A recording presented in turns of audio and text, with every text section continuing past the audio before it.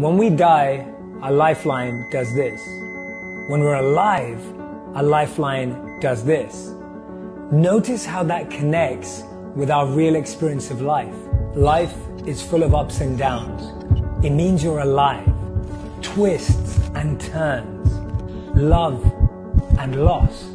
Happiness and sadness. Success and failure. We experience extreme highs, peaks, and summits, and at the same time experience the troughs, the lows, and submit.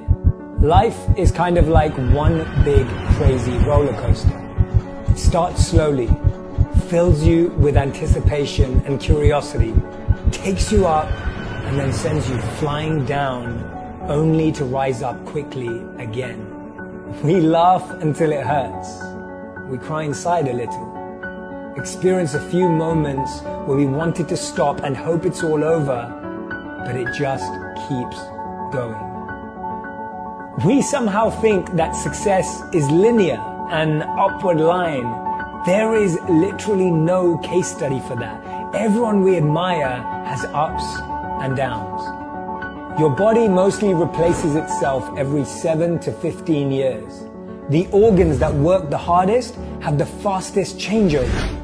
You get a whole new skin every two to four weeks. Your red blood cells last less than half a year.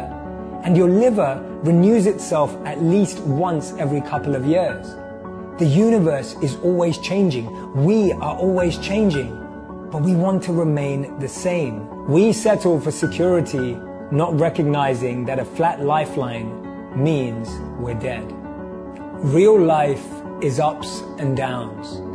Death looks like this. Every time I see that, I remind myself, this is living, this isn't. In the journey of life, we pass pleasure and pain. There will be sunshine and rain. There will be loss and gain. But we must learn to move forward again and again. Don't judge the moment. Don't try to hang on because it will keep pushing you forward. And remember, this morning, if you're healthy, you're happier than the one million people that will not survive this week. If there's food in your fridge, shoes on your feet, clothes on your